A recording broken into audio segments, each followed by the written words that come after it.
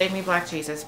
Um, but anyway, I wanted to come out here and do a quick review of I don't even know what the damn foundation is. But I went to Sephora to try the Giorgio Armani uh, Power Fabric, the new-ish foundation for them. Try to find a cover match. I don't always have a cover match, a color match. Um, and the lovely lady at Sephora was so nice in telling me that that was not for me. She said, you know, if you have any kind of dry skin issues, that is not the foundation. It's meant for the the oily girls. So, um, and you know, and she said, why don't you do Luminous Silk? And I was like, well, I've never had a color match. So she was like, well, let's play around and see. Now, I've been color matched to Giorgio Armani Maestro, and she said I could use a 10 or an 11. And, um, but I never did buy it because I found something else that cost less, probably. Um, and then a couple years ago, I tried to get color matched, whatever, to the Luminous Silk and they said I was not a match. I uh, They said the closest match was 11.5 but every time I tried to put it on I looked like I had mud on my face. It was just not right. So this young lady is like, no, no, no, you gotta try again. And she comes up and she goes, um, I don't know if you can see that, but she said, you need to try number 10. So I was like, really, I know you're really trying to make a sale here, but okay. So I was like, you know what? So I was like, you know what? Give me the sample. So I don't know what I did with it. It was here somewhere, but she gave me the sample, you know, the little tiny Sephora samples. She wrote it up and I am wearing it right now. Um,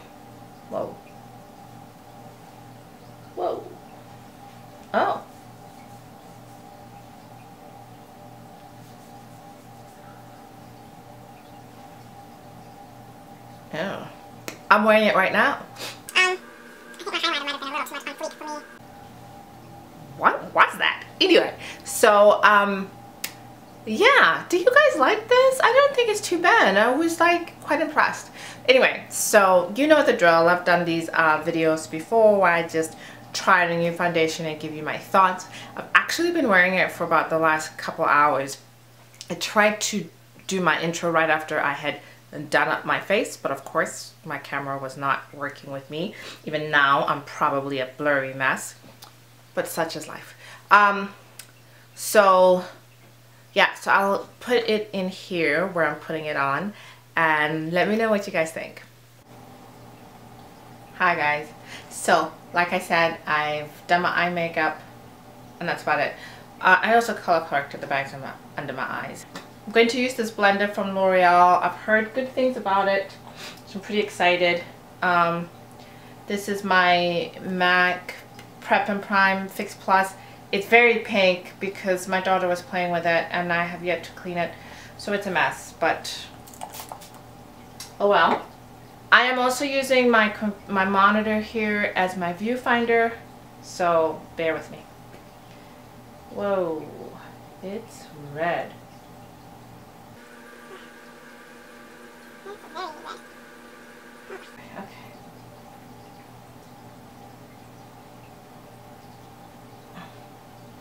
Is it red? It looks very red to me. But every foundation, except if it's, you know, very purposely neutral, looks very red to me. Um, So, okay.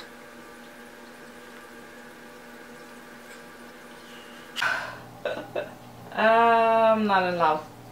Not gonna lie.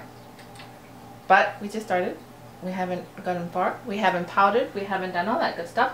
So I'm gonna stop and just kind of enjoy the process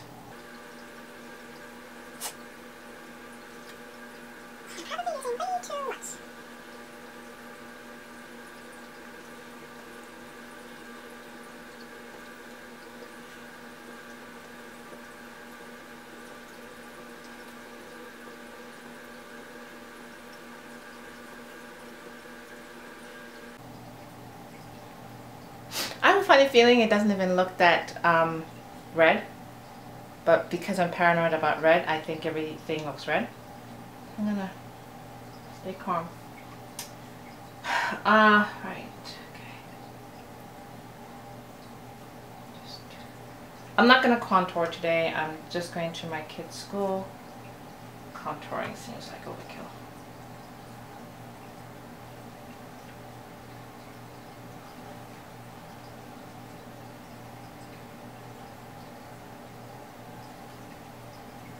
Um, this this came in my lucky bag, my lucky gift bag from um. This is the Beautylish lucky bag. I noticed I haven't said that. Um, but if you shop from Beautylish a lot, then you run the chance of getting products you already own. So that's the thing.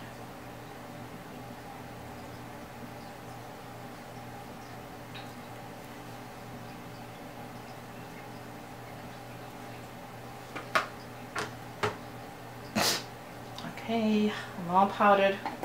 I'm all powdered. My eyes are already done. a little bit of blush. A very little bit of blush.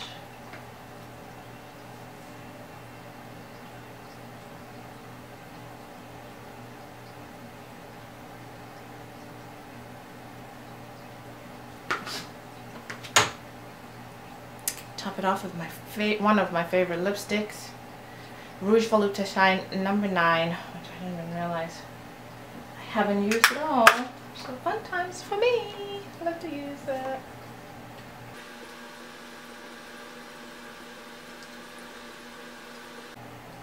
Mm. you go, needs a lip liner. Alright guys, um, I will take pictures as my day progresses and you can see what it looks like. Okay, I gotta run. I gotta really, really run. I'm still not dressed. What does it look like so far? Not too bad, right? Okay, I gotta go. Ugh, I gotta fix this mess under here. Ugh. Okay.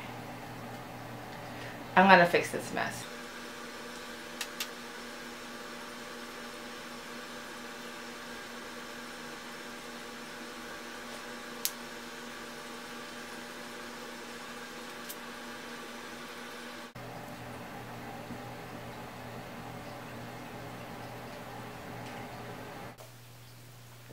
Okay, so this is what it looks like and I'm quite impressed with the color match. I don't think it's too bad.